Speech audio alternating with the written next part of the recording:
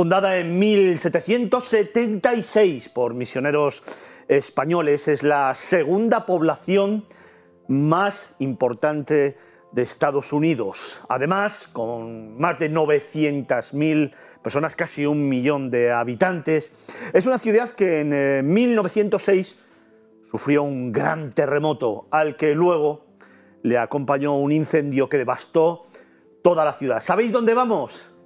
Os lo contamos en estas imágenes con David Vigorra, el director de Q-Travel que ha viajado hasta esta ciudad que hoy te presentamos y que nos cuenta en el siguiente relato.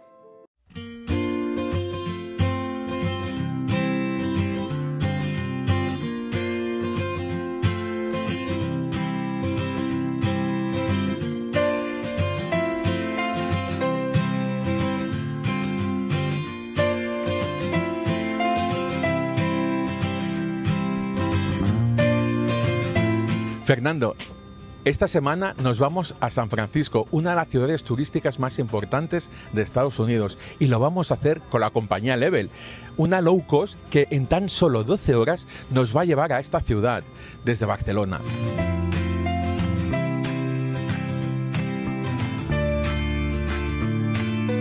Level ofrece dos categorías de asiento, la clásica turista y la premium, la cual estamos ahora que ofrece un mayor servicio y comodidad.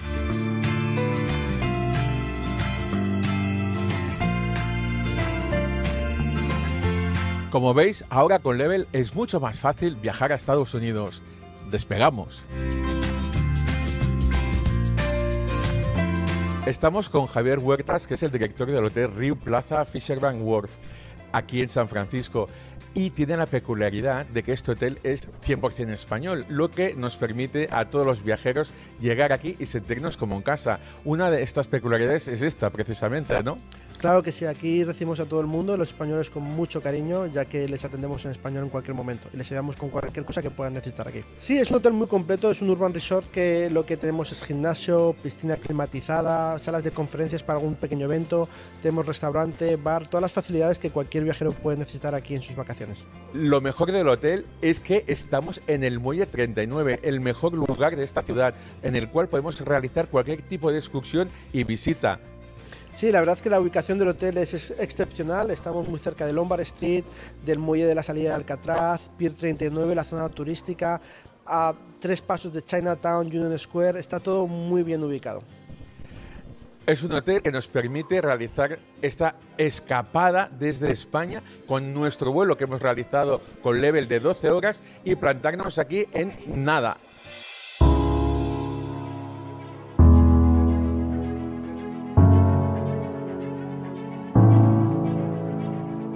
Nunca un puente ha significado tanto para una ciudad como el Golden Gate para San Francisco.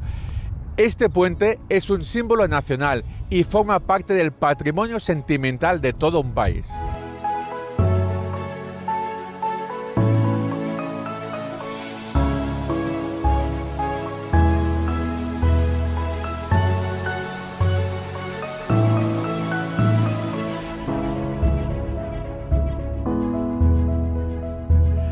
A pocas millas de distancia de la ciudad de San Francisco encontramos uno de los puntos más importantes turísticos de la ciudad. Estamos hablando de la isla de Alcatraz que tengo aquí a mis espaldas. Una isla que fue prisión de máxima seguridad y que ahora es visitada por cientos de personas cada día que vienen a ver y a vivir en primera persona lo que fue una prisión de máxima seguridad.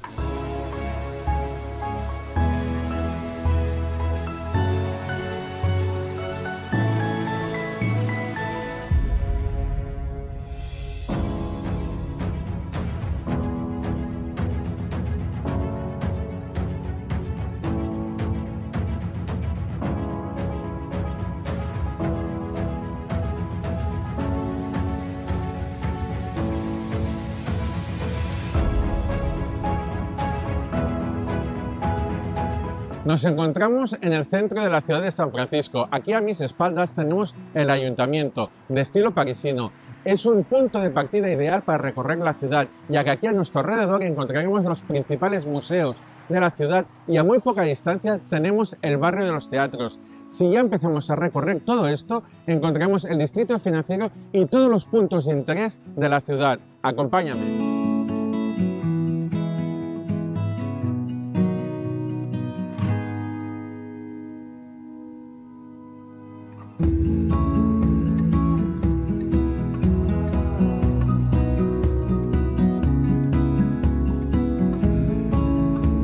San Francisco, a finales del siglo XIX, contaba con 23 líneas de tranvía tiradas por cable. Hoy actualmente solo son cuatro de estas líneas las que quedan en funcionamiento y que sirven para que el turista pueda disfrutar en primera persona de este subir y bajar de todas estas cuestas y montañas que tenemos en la ciudad. Tener en cuenta que el sistema tirado por cable era necesario ya que permitía superar estas pendientes y desniveles. El sistema eléctrico aquí era imposible de instalar.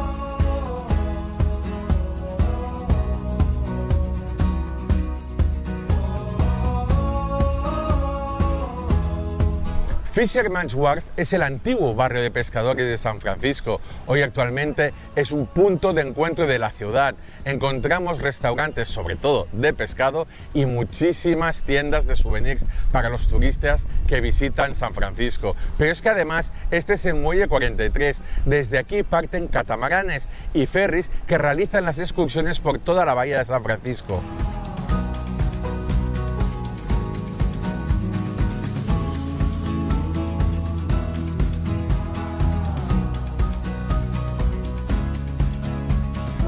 Uno de los lugares más simpáticos que todo el mundo visita en la ciudad de San Francisco es el Muelle 39, porque aquí encontramos una colonia permanente de osos marinos como la que tenemos aquí atrás.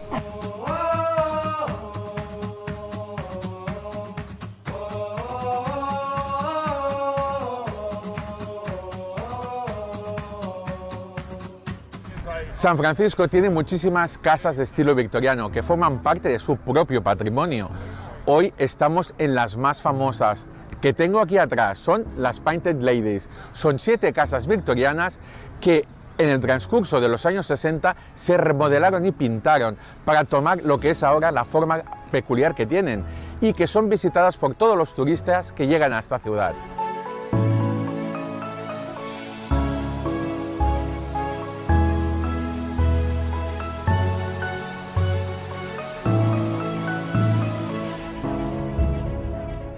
Corría el año 1776 cuando llegaron los primeros colonos españoles a esta zona. Aquí fundaron la primera misión dedicada a San Francisco de Asís. Luego, posteriormente, se desarrollaría la ciudad de lo que hoy conocemos como San Francisco. Aún queda esta capilla que tenemos a mi lado y una basílica que recuerda ese momento.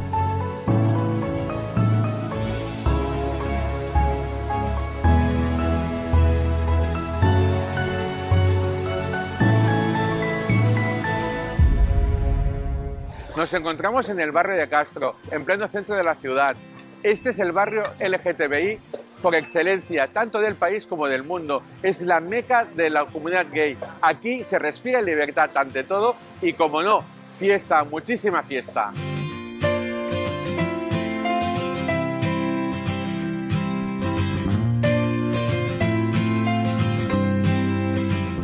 Decir que en Estados Unidos se come mal es un tópico, un tópico rotundo, y hoy vamos a desmontarlo. En San Francisco encontramos gastronomía procedente de todo el mundo, una gastronomía realmente buena y exquisita. Una prueba de ello es que nos encontramos en el John Grills, ese restaurante más antiguo de la ciudad del 1908 y por aquí han pasado personalidades de todo tipo para disfrutar de esta gastronomía.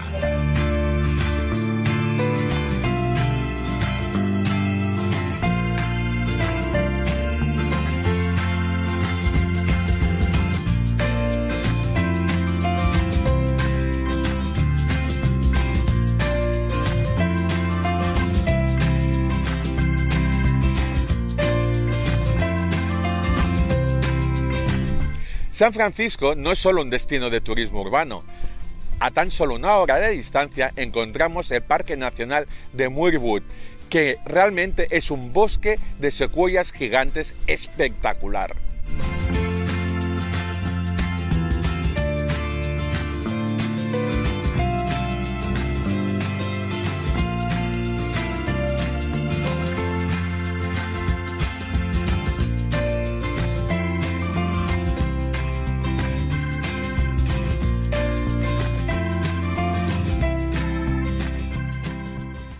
Absolutamente impresionante lo que nos ha contado en estos minutos nuestro compañero tertuliano y periodista de viajes, David, el director de Q-Travel. David, buenas tardes, ¿cómo estás?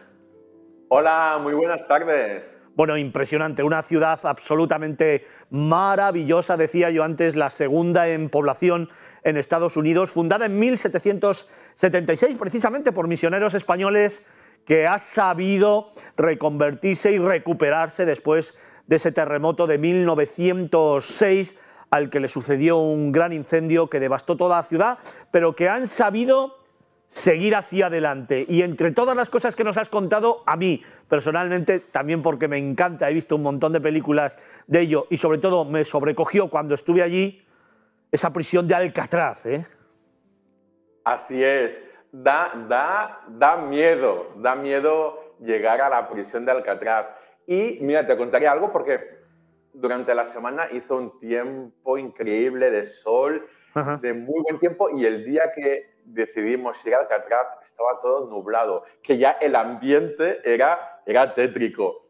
Y es que tener en cuenta la prisión de Alcatraz, para haceros una idea, era una prisión de prisiones Aquí traían a toda la gente que estaba en las cárceles repartidas por Estados Unidos, que era ya imposible detenerlos allí por conflictivos, venían a Alcatraz.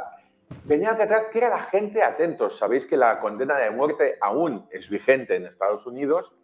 Pues aquí venían literalmente a pasar el resto de sus días para morir. No estaban condenados a muerte, pero ya eran recluidos en Alcatraz a morir. Sabían que todo el mundo que entraba en Alcatraz no iba a salir nunca. Y de allí viene la famosa fuga de Alcatraz. Tened en cuenta que es una isla, es una roca, en medio de la bahía de San Francisco. Y en 1962 hubo una fuga, la famosa fuga de Alcatraz. Una fuga que si tenemos, hay que tener en cuenta que se considera fuga cuando sales de la prisión y llegas a salvo, yo eh, no sé si decirte que fue realmente una fuga. Fueron tres personas las que salieron de Alcatraz, pero nunca se encontraron ni sus cuerpos muertos, pero tampoco se tiene constancia de que estén en vida. Así que fue una fuga entre comillas, pero eso propició que un año después se cerrara esta cárcel tétrica, porque realmente es tétrica. Y la visita, realmente ves la cárcel como el día exacto en que se cerró. No se le ha hecho absolutamente nada y impresiona muchísimo. Sin duda ninguna es una de las cárceles más duras de todo Estados Unidos. Se cerró en 1962. Déjame que presente también en esta tarde a Carlos Olmo, otro de nuestros tertulianos de este programa. Carlos, buenas tardes. buenas tardes. Bueno, San Francisco, una ciudad maravillosa, de esas que te quedan guardadas para siempre. Alcatraz, un icono, pero San Francisco es mucho más. ¿eh? Sí, es mucho más. Yo he estado muchas veces en San Francisco, primero por trabajo, porque en mi vida anterior trabajaba en Silicon Valley, con lo cual pues había que pasar por San Francisco sí o sí. Y luego he vuelto muchas veces por turismo, he cruzado caminando el puente, el Golden, Gate. He ido caminando hasta Sausalito, uno de los paseos más espectaculares que puedes hacer. Y en general he recorrido la ciudad eh, palmo a palmo. Qué bonita es esa imagen desde el Golden Gate de la ciudad, ¿verdad? Sí, sí, sí. Bueno, y lo que decía, lo que decía antes David, pues cuando entra la niebla desde, desde el mar y a veces solamente se ve la punta de las torres del puente, que, que son altísimas, es que son fotos e imágenes que no se te olvidan nunca. Oye David, nos has estado hablando del barrio de Castro, pero eh, estuviste en el Chinatown. Dime que sí, ¿eh? sí, así es. Mira, tener en cuenta que el barrio chino, que aquí en Europa el barrio chino a veces lo consideramos otra cosa, ahí es literalmente el barrio chino, Chinatown, es el barrio más grande de Estados Unidos y considerado el más grande del mundo fuera de China, evidentemente. Estamos hablando que entras por la puerta del dragón, una puerta típica de, con arco, ah, muy tradicional china, ¿no? Con sus dos dragones en la entrada. Pero es que se extiende por 26 manzanas. Estamos hablando de 26 manzanas allí en Estados Unidos. Es, es realmente muy extensa la superficie. El momento más bonito de visitar Chinatown, porque Chinatown tiene muchas vidas sabéis que los chinos no dejan de trabajar nunca, 24 horas. Entonces, el mejor momento yo recomendaría, que es un poco especial, es la tarde-noche, cuando hay el trajín de los comercios que cierran y las luces se empiezan a encender porque las luces no son las típicas farolas, tienen farolas chinas, evidentemente, y el trajín de la vida nocturna de los restaurantes. Ese momento se crea una, una, atmósfera súper especial en Chinatown. Tener en cuenta, para que os hagáis una idea que me decías, eh, lo del barrio, lo grande que es, es tan grande que realmente hay un momento que no diferencias el, centro y el resto de la ciudad, porque la comunidad china aquí es tan importante que está repartida en todos los sectores de la ciudad. Ah, y una cosa, las famosas galletitas de la suerte chinas que nos dan en los restaurantes es un invento de aquí. Aquí está la primera fábrica que empezó a fabricar las galletitas de la suerte. Y es una curiosidad que cuando vienes al, al barrio, a Chinatown, tienes que visitar. Carlos, cuando te adentras en el Chinatown, es un mundo diferente. ¿eh? Sí, totalmente. Bueno, además que hay una razón clara por la que el barrio y la comunidad china es tan grande y tan importante en San Francisco. Y hay que pensar que gran parte de los trabajadores que ayudaron a completar el ferrocarril que unía el este y el oeste de, Estados Unidos, eh, esa obra magnífica, gran parte de esos trabajadores eran chinos. Y luego no hay que olvidar que también históricamente siempre ha habido conexión marítima entre San Francisco, uno de los mejores puertos de la costa oeste de Estados Unidos, y China. Entonces, digamos, todo eso ha ayudado a que, bueno, yo también soy de los fans del barrio chino, me encanta ir a esos restaurantes, a veces modernos, a veces decimonónicos, y es una auténtica delicia. Es una pasada, una delicia, me quedo con, esa, con ese titular. Fijaos, San Francisco es una ciudad, como hemos venido contando en el reportaje, como os hemos mostrado en imágenes, en, las que, en la que vamos a encontrar rincones increíbles, esas cuestas empinadas, esos tranvías, es una ciudad de 122 kilómetros cuadrados en el que hay un skyline, pero luego el resto de la ciudad es una ciudad con edificios más bien bajos, eh, de dos, tres plantas máximo, que parece que es una grandísima ciudad como pueda ser Nueva York, no, ni muchísimo menos, y además donde los espacios verdes son muy importantes, hay multitud de parques, David, entiendo que los habéis conocido, y yo me atrevería a preguntarte, ¿cuál es tu preferido? Mira, también eh, yo creo que el, para que os hagáis una idea, el 30% aproximadamente de la superficie de San Francisco son parques, son zonas verdes. Aquí el tema ecológico lo tienen muy asumido. Hay tres, eh, cuatro grandes parques. Mira, os cuento, el Presidio, Presidio Park o Presidio de San Francisco. Este no os voy a hablar mucho porque es el más grande de la ciudad y es donde nace el Golden Gate. El primer pilar que aguanta el, puente está en este parque. Y este, con que lo acabaráis conociendo, ya no no os hablo. Después está el Golden Gate Park, que no tiene absolutamente nada que ver con el puente. Es curioso el tema de los nombres. Realmente encima está lejos. Lo bueno de este parque es que tiene un jardín botánico increíble, alucinante, y tenéis que visitarlo si vais a San Francisco. Yo me quedo con dos. El Álamo Square. Aquí es un parque encantador que tiene una de las vistas más bonitas de la ciudad. Aquí encontramos las casas victorianas, las Painted Ladies que han salido en el reportaje. Y es, es el típico parque eh, bucólico, encantador, de esos que tienes que visitar. Pero el mío, sin discusión, el mejor para mí es el Mission Dolores Park. Está justo al lado de la Misión Dolores. Es el lugar que va absolutamente toda la ciudad, algún momento de la semana, todo el mundo a comer, porque les encanta comer al aire libre. Aquí a la que hace un poco de sol, todo el mundo sale, sale en, estampida a tomar el sol a esos parques, vienen a comer. La hora del almuerzo, entre 12 y 1, está repleto a petar de gente. Y es un parque con una pendiente, como no podía ser en San Francisco, todo están pendiente, que te permite ver el skyline más moderno de la ciudad. Es un lugar de ambiente súper joven que hay que visitarlo. Es verdad que la vida en San Francisco yo creo que toma punto álgido precisamente a la hora del almuerzo y luego a eso de las 5 o las 6 de la tarde, que la gente sale casi en masa a los parques a disfrutar de la vida, a respirar, a compartir, a jugar, a descansar, a hablar, a tocar la guitarra. Sí, yo añadiría un lugar que no es un parque, pero también para mí es un remanso de paz y es el jardín japonés. Es uno de los jardines japoneses más bonitos que he visto nunca y realmente te, aíslas totalmente del ruido de la ciudad y es una auténtica gozada pasear por, por el jardín japonés. Oye David, eh, eh, esta ciudad es para dedicarle casi todo el programa, pero claro, el tiempo ya sabes que se nos va. Eh, pero no quiero terminar sin preguntarte dos cosas. Una, estoy convencido que nos tienes que contar más lugares emblemáticos eh, de la ciudad con los que sorprendernos fuera de los habituales. A mí me viene, por ejemplo, a la cabeza el Palacio de Bellas Artes, que no nos lo has nombrado, pero que seguro que lo tienes en la cabeza. Y luego quiero preguntarte también para hacer algo especial, alguna actividad única en San Francisco con la que se, eh, sorprendernos. Venga. Mira, dos, os comento dos lugares que tenéis que visitar que no han aparecido en el reportaje. Venga.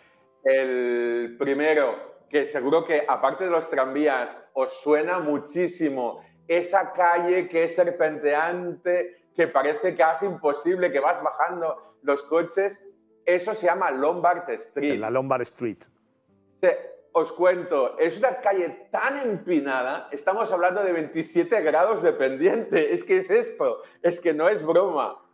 Y, la y con que era muy corta, la única forma que se les ocurrió de hacer pasar la calle por ahí y que los coches no, va, no pasaran con peligro, no bajaran con peligro, es hacer esta serpiente y al final se ha convertido en una atracción turística de la ciudad imprescindible. Después, de, después del Golden Gate, Alcatraz y los tranvías es Lombard Street. Hay que venir a ver esta experiencia. Verla Pero y tomársela con tiempo, ¿eh? Hacerla con tiempo porque, porque tardas en hacerla, ¿eh? Que al ser una atracción turística, ¿eh, y las curvas, el temita tiene guasa, tiene mucha guasa. Y otro sitio, este sí que vais a alucinar todo el mundo, es el Palacio de Bellas Artes. Exacto. Estamos hablando de, es, es el icono, el icono neoclásico más extravagante de la ciudad. Es el típico lugar que dices, ¿qué hace esto aquí? No pega con nada pero precisamente porque no pega es el atractivo de la ciudad.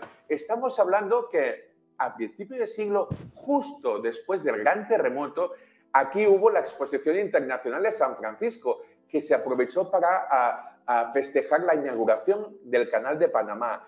Y se creó una estructura entre romana y griega de columnas y palacios abovedados que encantó a la ciudad. Pero ¿qué pasa? Como toda exposición universal, es para unos días.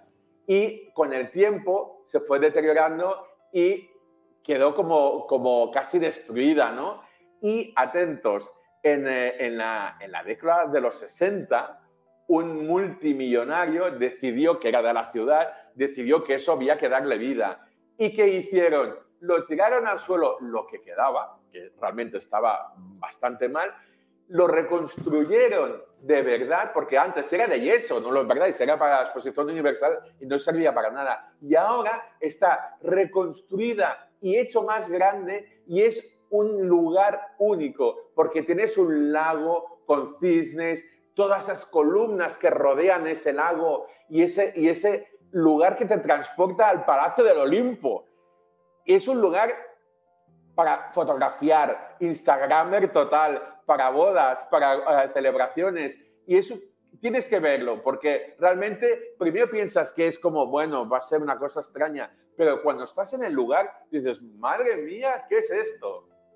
Oye, David, eh, me gustaría para finalizar que me trasladaras una emoción, un recuerdo, pero déjame primero que le pregunte a Carlos. Claro, hemos hablado de Alcatraz, hemos hablado del Gondel Gate, hemos hablado de los parques, hemos hablado del Lombard Street, hemos hablado del Palacio de Bellas Artes, pero estoy convencido que tú tienes del barrio chino, pero tú tienes algún lugar en la cabeza con el que nos sorprendes también. Sí, ¿Cuál antes, es tu lugar, antes, tu rincón? Antes os di un pequeño apunte. A mí me, una de las excursiones para, más para hacer por tu cuenta, súper económica y maravillosa, es agarrarte una bici, cruzar el Golden Gate, primero pararte en el, en el, mirador que hay justo nada más cruzar Eso el. Golden Gate y luego continúas por la carretera de la costa con la bici a- hasta Sausalito y en Sausalito, es- y, ahí, y ahí viene para cerrar el círculo, agarras el ferry de vuelta a San Francisco y vas a llegar a esa vorágine de ferries de los wharf, de los muelles, que también es una, uno de los iconos sin ninguna duda y que además me encanta cómo han logrado reconvertir esos muelles industriales, muchas veces eh, viejos, sucios, abandonados, a una de las atracciones turísticas más grandes. Y en uno de ellos, en el 47, pues está esa permanente colonia de leones marinos que, que es también una de las atracciones de la ciudad. Muy bonito, sí, señor. David, para terminar, venga, en 30 segundos, un lugar para ti, un recuerdo, un rincón favorito con el que cerrar este magnífico tema y este magnífico viaje. Pues mira, ha salido una pequeña pincelada en el reportaje. Ver el atardecer desde la bahía en un catamarán, tener el puente de Golden Gate allí con el sol que va decreciendo y tienes la isla de Alcatraz todo en, ese contraste de colores amarillos y dorados, es eh, una impresión que te llevas muy bonita. Ten en cuenta que la bahía de San Francisco forma parte de la ciudad. Es una bahía donde se hace de todo, menos playa, porque aquí os aseguro que no os vais a bañar nunca. Solo cuatro chalados se pueden bañar.